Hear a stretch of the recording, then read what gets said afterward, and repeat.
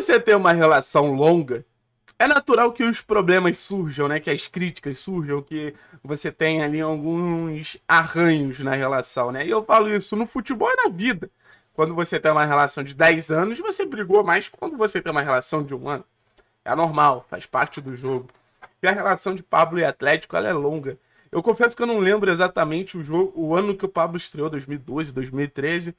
Mas tá muito tempo aí vestindo a camisa do Furacão, né? Algumas saídas, jogou no futebol japonês, jogou no São Paulo, mas o, a carreira do Pablo em grande parte se resume ao que ele fez no Atlético. E já foi um Pablo que jogou em várias posições, fez até a lateral direita, já jogou pela ponta esquerda, já jogou por trás do centroavante, já jogou na ponta direita, já foi esse centroavante.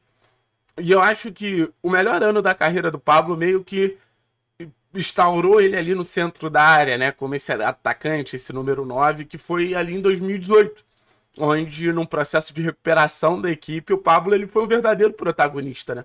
O Atlético estava formando uma equipe que seria muito vencedora, ganhando o título da Sul-Americana, ganhando o título da Copa do Brasil, Levan Cup, Campeonato Paranaense, e viu no Pablo ali um cara que comandou muito bem o ataque naquela temporada, foram 18 gols na oportunidade e, e gols pesados, né? Dois gols na final da Copa Sul-Americana, um gol em Barranquilha, um gol em Curitiba, gol contra o Bahia, aquele gol contra o Bahia, que foi um baita de um golaço, foi um gol muito importante. E esse ano ele foi tão chamativo que fez o Pablo ser vendido por uma boa grana para o São Paulo, uma excelente grana para o São Paulo, inclusive. Não teve tanto sucesso no time do Morumbi e acabou voltando. Acho mais fácil a gente falar dessa passagem atual do Pablo pelo Atlético, porque é uma passagem de altos e baixos, mas sempre com uma expectativa alta pelo que o Pablo ele pode entregar. O Pablo em 2022 ele teve momentos muito ruins, principalmente na sua chegada. Ele começou até ajudando de alguma maneira, sabe, fazendo bem ali o pivô, participando da construção das jogadas, porque o Pablo ele é esse, ele é esse atacante, né? Ele não é aquele atacante que se resume ao toque final, como você tem em outros atacantes da Série A do futebol brasileiro. Ele é um atacante que participa bastante do jogo. Ele tem quase mais 10 passes de média em relação ao Vitor Roque, por exemplo. Então é um cara que vai estar tá tocando na bola toda hora, vai estar tá saindo da referência toda hora para participar. E, e, ele começou minimamente bem, depois teve uma queda muito grande, perdeu aquele pênalti contra o Libertar, caíram é, em cima do Pablo ali na pressão, mas o Filipão chegou apostando muito no Pablo, e foi a partir daí que o Pablo ele viveu o seu melhor momento na temporada, tá? Foi a partir dali que o Pablo ele começou a ser uma referência, naquela né? sequência de quase 15 jogos que o Atlético teve sem perder, o Pablo ele foi muito importante, se tornou ali uma verdadeira referência. O Atlético precisava muito do Pablo como um, um porto seguro ali para a bola passar por ele, mesmo que seja ele de costas, mas para o jogo se movimentar, para o Atlético encontrar espaços na defesa adversária. A questão é que ele se machucou e, e depois da volta dele ele não conseguiu repetir o nível que ele vinha apresentando, porque naquele momento ninguém questionava o Pablo ser titular, mesmo com o Vitor Roque. O pedido era Vitor Roque e Pablo, não um ou outro. A questão é que essa lesão atrapalhou muito a sequência da temporada do Pablo. Ele fez gols importantes, por exemplo, o gol contra o Palmeiras ali na semifinal da Libertadores, mas nunca foi o mesmo. Agora, recomeçando a temporada, existe uma expectativa muito grande.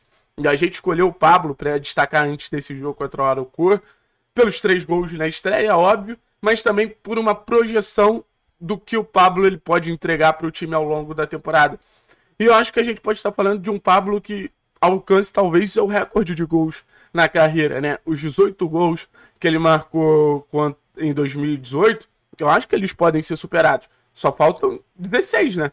Para ele bater os 19 e, e atingir essa marca. E olha que tem uma temporada inteira ainda para jogar.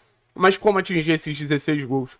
Eu acho que num primeiro momento é ele se afirmar como essa referência para o time no Campeonato Paranaense. O Pablo, internamente, ele é considerado um dos grandes líderes desse grupo. É um cara que internamente tem muita moral como um ídolo do clube e também como um cara que ajuda muito os jovens, ajuda muito a, a construção da equipe ali, conversando taticamente com os jogadores, conversando com o treinador. É uma voz do, da comissão técnica dentro do campo.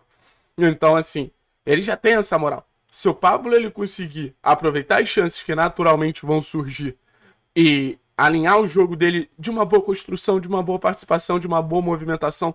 E o Pablo ele é muito inteligente nesse aspecto, de saber se movimentar e trazer o zagueiro junto com ele, abrir um espaço nas costas, sabe? De vir construir o jogo, conseguir ver esse jogo de frente, encontrar um bom passe, de se posicionar numa zona onde a zaga não está marcando é, muito, porque ele tem essa movimentação, então ele sai da referência, o zagueiro fica lá marcando no meio da área e ele vem, por exemplo, para a entrada da área participar. Então, assim, ele tem boas qualidades. Eu até falo, em muitos momentos é um Pablo que ele é mais inteligente do que ele é bom jogador.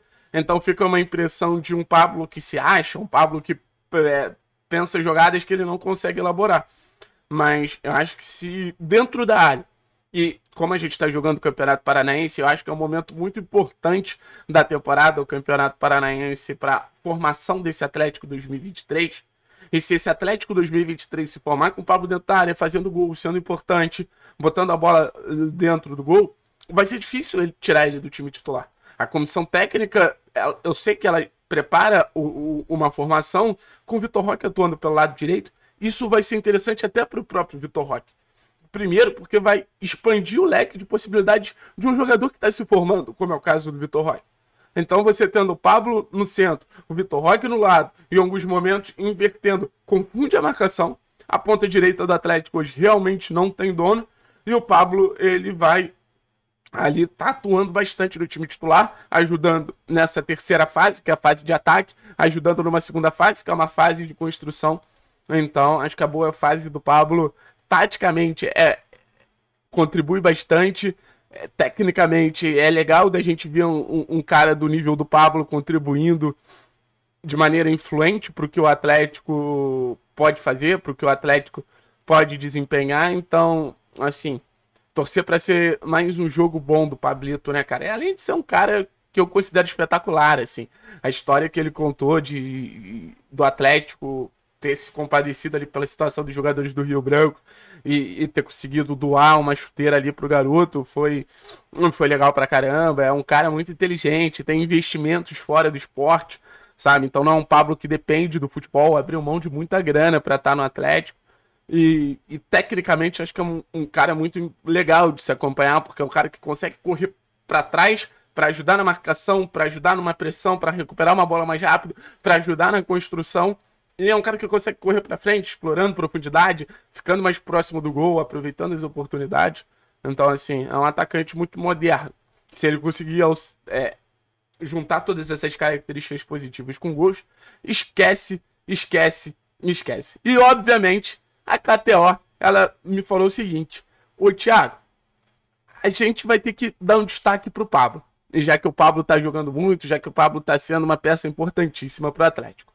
Mas a gente precisa focar em algo pra galera ir lá no site e apostar. E é isso que eu vou falar para vocês. Hoje é foco no Pablo, mas é foco no mercado muito legal que a KTO oferece, que é a primeira parte.